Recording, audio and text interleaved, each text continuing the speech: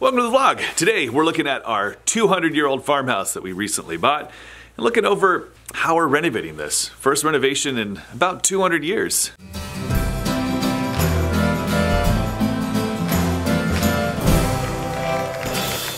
Uh, if you follow this channel because of the tobacco stuff or anything like that, this video is a little different. We're gonna start doing little highlights of the progress as we renovate this 200 year old tobacco farm, uh, which is gonna take a while. We're thinking we'll probably be finished-ish. Never is probably what we're thinking. Never, ever be done. But the house itself, at least, should be livable. We're thinking maybe February 2022. So, we'll see. So really what I have is a collection of footage that I've been shooting at the house since we started the renovation. So this video is pretty much just gonna be showing you kind of the progress that we've made so far. I think we started tearing into the house, like the first board removed in, well, I could tell you because I took a photograph. There it is, the first bit of work. Hold on, focus. I want it work, go, focus, do your thing. Why? So that was uh, that was the first little bit of work we did, and that was July 15th. Have you ever met Miss Lindy? She's a gal with the bright red hair. So you're happy? Yeah, I just want to start it. You just want it to be done. So July 15th, 2021 was the first bit of renovation we started to do on the house.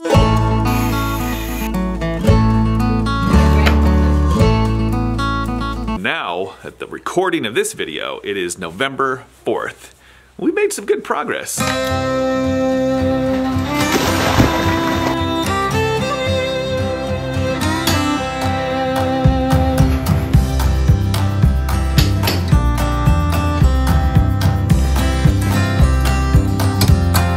Go away.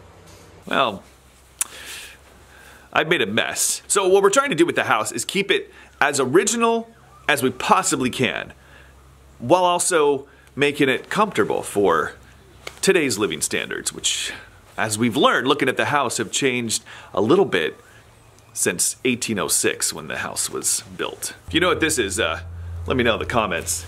It's new, it's a plastic stake with a green thing on top. Very handy item to have.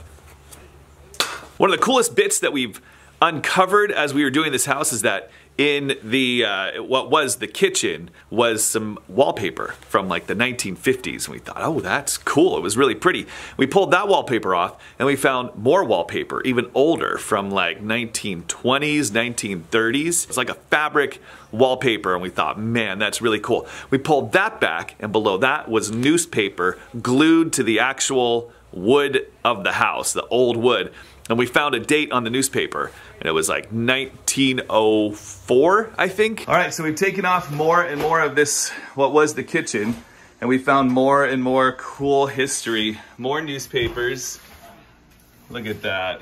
And more uh, wallpaper old wallpaper here.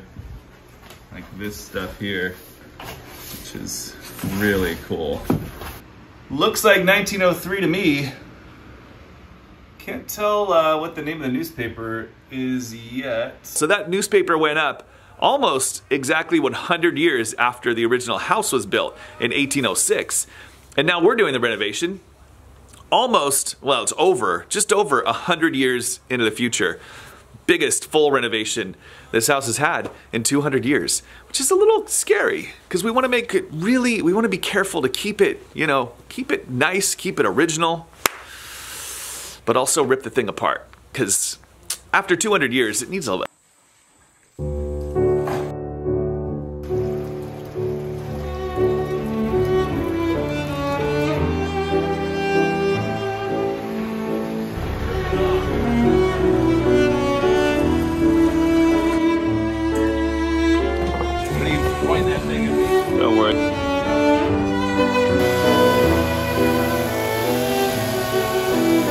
This whole renovation, if there's one thing I've learned so far, seeing the way that the house used to be and seeing the a glimpse at least of the lifestyle, the way people actually lived out here in the early 1800s is that people are extremely adaptable to their surroundings.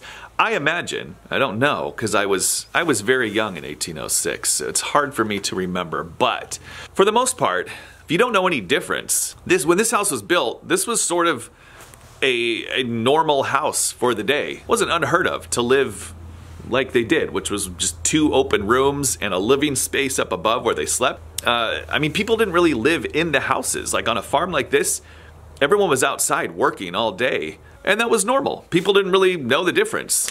And I, I imagine they lived just fine that way. That's how it was. They didn't see it as the way we see it today is like, man, that was rough living back then. I don't know how people did it. To them, that was that was just living, I think. Which makes me realize that uh, whatever we're used to, whatever our environment is, whatever seems normal to us today, we just adapt to it. And anything outside of that normalness seems uncomfortable. For a lot of people, if you go too far luxury and nice, it becomes a little bit uncomfortable. If you go too far back to the way things were, it's very uncomfortable. We like being right where our comfort zone is, what we're used to, what seems normal to us.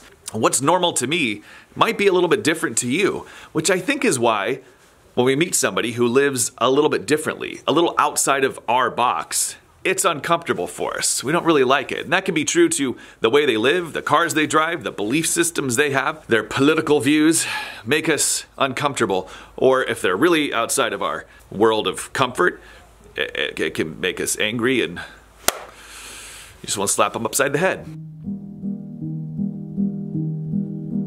It's interesting to me. I kind of look at people now as like having a box around their head, and inside that box is their comfort, their normal. And if you're outside of that box, we tend to stay clear of people like that because it's uncomfortable. So we tend to find people that live inside of our box. We tend to find other people whose normal box of comfort is consistent with ours because uh, we like to be comfortable. Creatures of comfort is what we are. So I like doing this house. I like this project because you're literally surrounded by a world that looks a lot different than ours. You can see into what the world was like for people back then, a little bit. And so this renovation represents us trying to bring that uncomfortableness back into our world of normal, our world of comfort. We're trying to reach into the past, into a world that doesn't make sense to me, and bring it into a world that does. I think that's one of the things we love about, not to change the subject here, but I am. Uh, travel is so important because you're forced into a world that looks different than yours, people who think different than you, and it's uh, it can be pretty uncomfortable. But once you get used to that and that becomes normal for you, your box of normal, your box of comfort just expands. It gets bigger. You learn more from other people who do things, who think differently. I think that's really good to do. I think maybe I don't know. Maybe it doesn't matter. You look at somebody who, uh, like we live near an Amish community, big Amish community near us out here in Tennessee, and you look at those people who live out there, and I would imagine that their box of understanding is somewhat small because they're surrounded by other people who think the way that they do, and they're pretty limited on what influence they'll allow into that box of normal for them. I don't know if it's good or bad. Maybe it's a good thing. I think if things really go bad and everything shuts down, it's probably only going to be the Amish who survive. So maybe they have it figured out. Maybe it's better to keep your box of normal, of comfort, small, rather than expanding it into something big. I don't know. What do you think? How big is your box of normal around your head and how big should it be? Yeah. Anyways, we're renovating our farmhouse and we'll keep you updated on the progress as we go along because it's quite a job. It's pretty much what we do every day till we finish it up. All consuming, very tiring. Hope you enjoyed today's video. If you did, let me know in the comments below that you'd like to see more of our progress on the farmhouse. I'm gonna go try to warm up, it's very cold. Hey, if you like this video, or if you don't like the video, subscribe to the channel. Uh, yeah, even if you don't like it, you should subscribe. Hmm, yeah. Please do all the things that YouTube would like you to do by using all those buttons below, especially the thumbs up and the comments and the subscription. Those are the things that YouTube likes, which means I like it because the channel grows. Thanks for watching.